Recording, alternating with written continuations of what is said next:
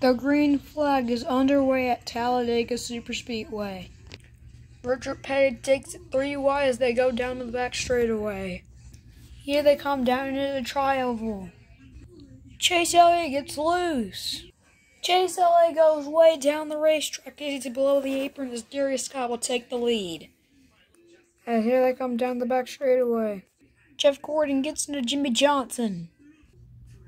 Big crash down into turn three for the whole pack.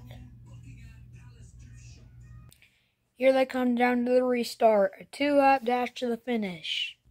Kyle Petty takes it three wide as they come down to the back straightaway.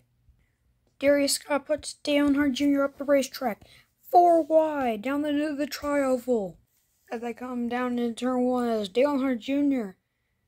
Senior, I meant, is turning Alan Kulwicki, crashing.